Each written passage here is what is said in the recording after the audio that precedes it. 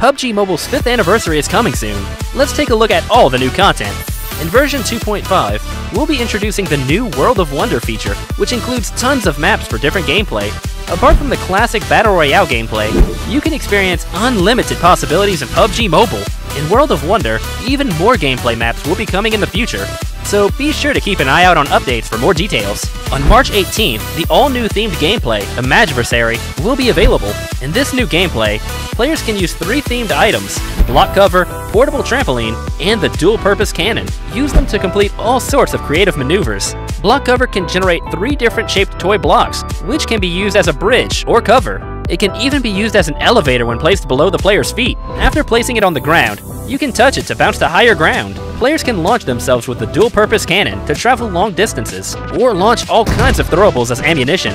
It's way more powerful and effective than a regular throw. Get your creative juices flowing and come up with different combinations to unleash unexpected tactical effects. Furthermore, your backpack comes with a unique item, the Supply Converter.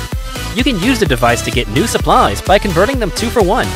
Give it a try, and you might just discover something unexpected. At the same time, the large new themed area, Imagination Plaza, will appear in Erangel Stalber and Quarry. Battle it out to occupy designated locations and compete for a vast amount of advanced supplies. The small themed area, Imagination District, will also appear in Erangel and Livik.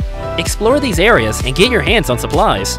Classic Mode has also undergone several updates. DP28 and M249 can be equipped with a new gun shield attachment, once equipped, it can be used to block enemy gunfire. Supply shops are now available in Miramar, Vikendi, Sanhok, and Payload to provide players with an extensive array of tactical options.